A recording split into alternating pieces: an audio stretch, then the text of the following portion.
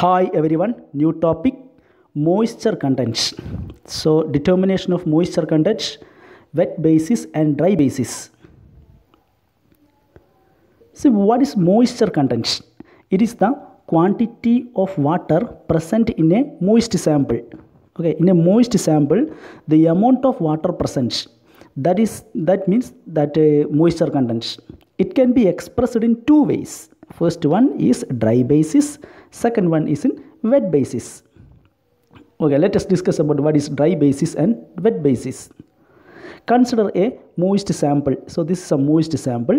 It contain water and dry material. The moist sample means the water plus dry material. So mm is the total mass of a moist sample, actual mass of a moist sample. Mw is the mass of water present in the sample. Then this md it is the mass of dry material in the sample. So we know that mm the total mass is equal to dry material mass plus mass of water. Then what is moisture content in a dry basis? Actually it is the quantity of water per unit mass of dry material in a sample. Only the dry material we are going to take as denominator. So this is mass of water in a sample that is mw divided by mass of dry material in a sample md. So this is the equation.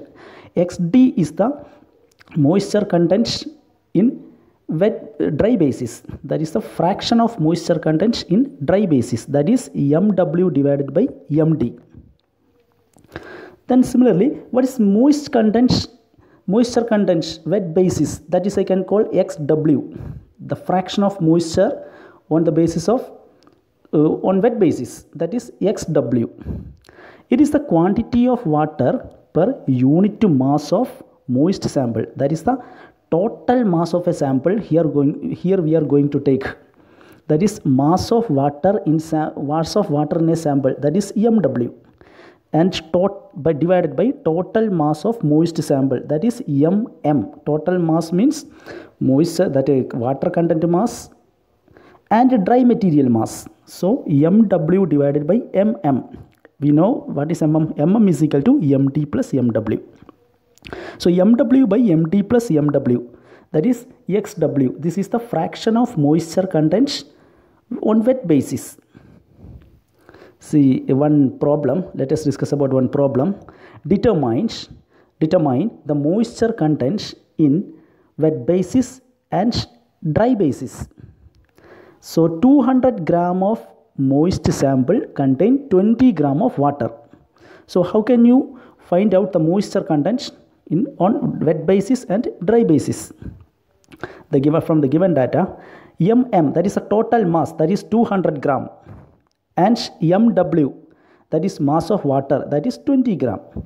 Then remaining after that the mass of dry material is 180 gram because 20 gram is water. On the dry basis the equation xd is equal to mw by md so that x uh, that mw is 20 divided by 180 that you will get a 0.11 this is fraction of moisture content on dry basis. Then percentage of moisture content is equal to fraction of moisture content into hundreds. So 0.11 into hundreds. What you will get? 11.1 percentage. Then on wet basis wet basis the equation xw is equal to mw divided by mm that is a total mass. That is 20 divided by 200 that you will get 0.1 this is the fraction of moisture content on wet basis.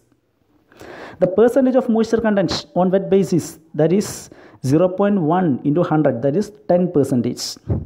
And remember one thing for same set of values always the fraction of moisture content on dry basis is greater than fraction of moisture content on wet basis. Why? Because just to check the equation. On the dry basis the denominator part is md here. So this is a small value. But here the denominator part is md plus mw this is a large value. So if denominator is going to increase this xw will reduce.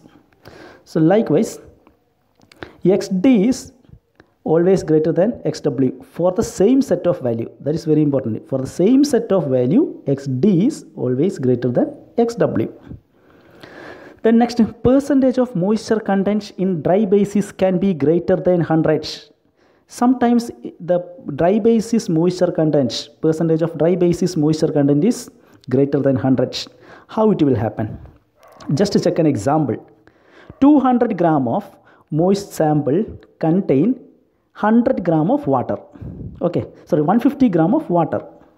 So what is xd xd is equal to mw by md so mw mass of water that is 150 then mass of dry material that is 50 then 150 by 50 that is equal to 3 percentage of moisture content is equal to fraction. This is the uh, fraction of moisture content. Fraction of moisture content into 100 then we will get 300 percentage.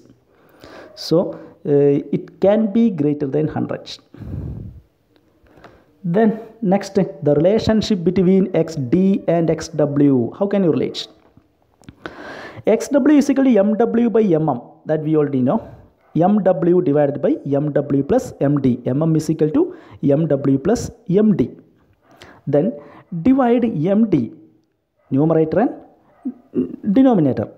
That md by mw divided by here also divide md here also divide md then we know that md uh, mw by md mw by md is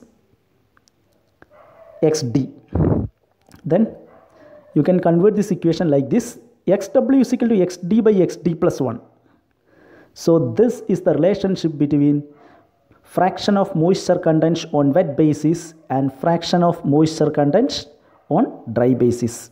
So we can rearrange this equation.